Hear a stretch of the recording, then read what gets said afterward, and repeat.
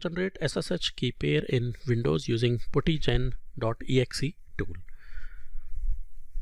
Now, first of all, in order to use puttygen.exe tool, we've got to download putty. It's an executable under which you'll find puttygen.exe tool bundled. So let's go to the browser and I'm going to show you where you can download putty from and we take it from there. So here simply give putty and then go to putty.org and here you can download the putty. So click on this one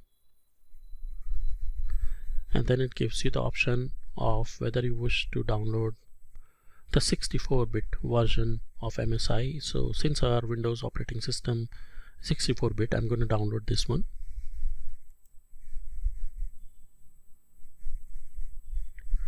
So now that it's downloaded, I'm going to install it by clicking on this Microsoft installer.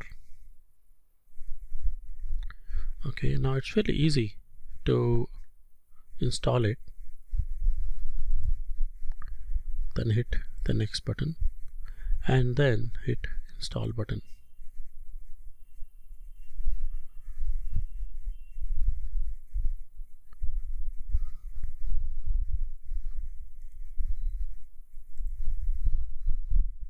okay then you finish it off.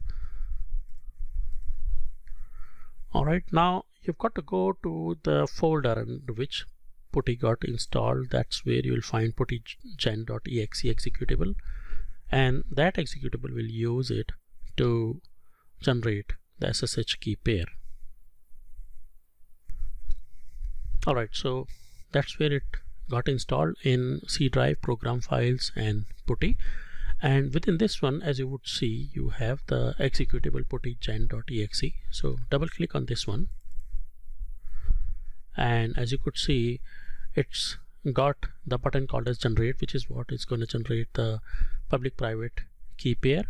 And while it's getting generated you can give the option of generating it with a paraphrase. A paraphrase is nothing but a password. So it it's like an added means of security to your public private key pair. And then at the bottom you have to choose the type of key to generate. So RSA, DSA and so on. So I believe as far as Oracle Cloud Infrastructure is concerned it looks for RSA type of a key. So I'm going to leave it as default. And then I'm going to hit the generate button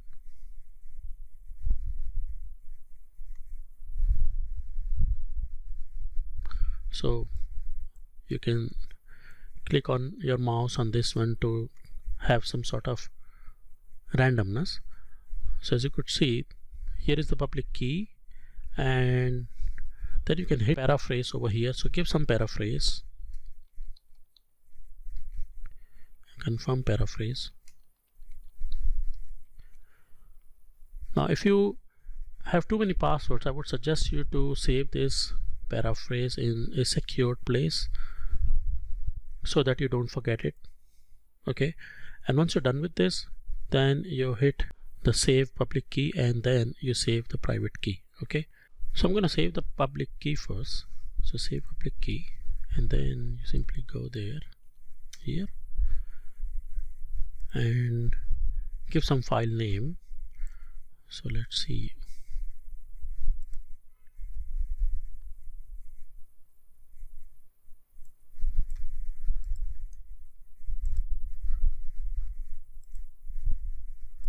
so I'm going to give this sort of a file name over here.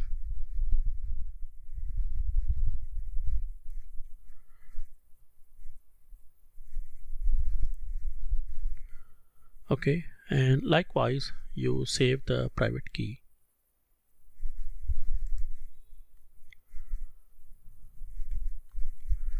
But don't give pub so pub basically stands for public. And then hit the save button okay so that's done. Now you can confirm it by opening the public key and private key in a notepad. So I'm gonna go to the place where we have saved.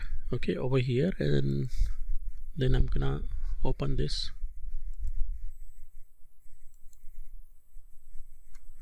In notepad. So this one is the public key as you can see. And the second one is the private key. You see? Here it's the private. Okay? And they are in different formats.